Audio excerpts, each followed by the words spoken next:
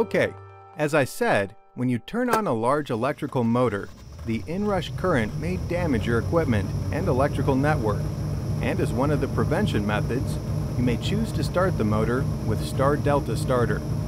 Now let's see how you can run a motor with this method. Let's look at the schematics for the motor windings. These three upper ends are shown by U1, V1, and W1, and the other three lower ends are shown by U2, V2, and W2. To turn the motor on, you need to connect the three-phase power to the three upper ends of U1, V1, and W1. Now let's see how you can connect the motor windings in star or delta connection.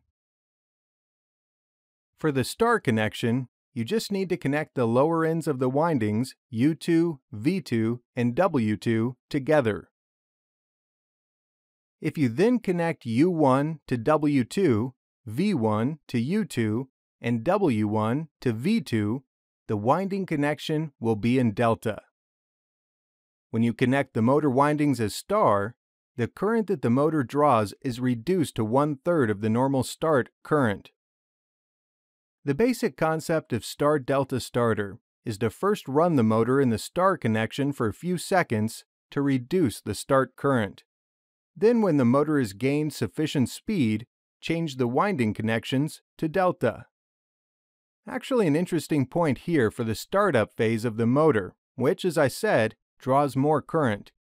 If you think about this concept, this is what you can see in the other aspects of your life as well. The startup phase of anything in your life draws more energy and focus. Okay, now that you've learned that by changing the winding connections, you can reduce the start current of the motor, you may be wondering how you access these motor winding ends to connect power to them, and also change their connection from star to delta. There is a connection board on any three-phase electrical motor where you can access all six winding ends that we've explained here.